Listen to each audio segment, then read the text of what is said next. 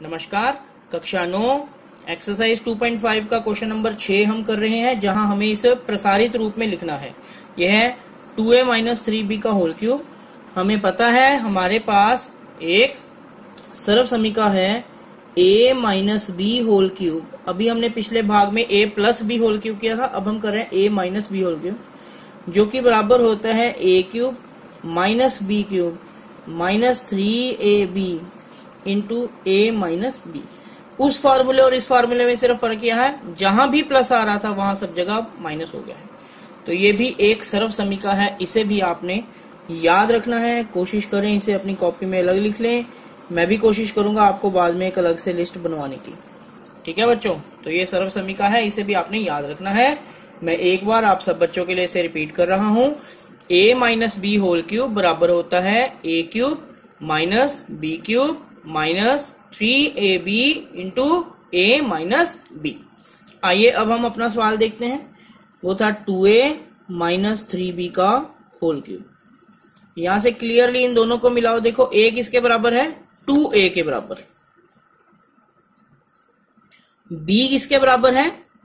Three B के बराबर। तो आइए ये टू ए और थ्री बी जो है इस, इस इस पूरी सर्व समीका में डालें। ए की जगह टू ए तो ए का क्यूब यानी टू ए का क्यूब माइनस बी का क्यूब यानी थ्री बी का cube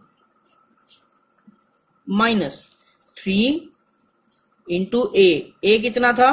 Two A into B B कितना था? थ्री बी इसके बाद बड़ी ब्रैकेट ए ए कितना है? टू ए माइनस बी कितना है? थ्री बी ये अलग है, ये तो सिर्फ़ आपको बताने के लिए था, समझाने के लिए था। ठीक है बच्चों, अब हम इसे हल करते हैं। देखो, टू का क्यूब दो दुनी, चार दुनी, आठ। ए का क्यूब होता है ए क्यूब। आगे है माइनस माइनस थ्री का क्यूब होता है, तीन तिया नौ तिया सताइस। बी का क्यूब होगा बी क्यूब। आगे देखिए, मैंने पहले भी समझाया था, इन तीनों को अलग हल कर लीजिए। तीन दुनी छह छह तिये अठारह। A into B A B साथ में माइनस का निशान। ये वाली ब्रैकेट ब्रैकेट में है two A minus three B अब क्या होगा बच्चों? हमने पहले भी समझा, एक ब्रैकेट के बाहर एक पद है, ये इससे भी गुना होगा और फिर इससे भी गुना होगा।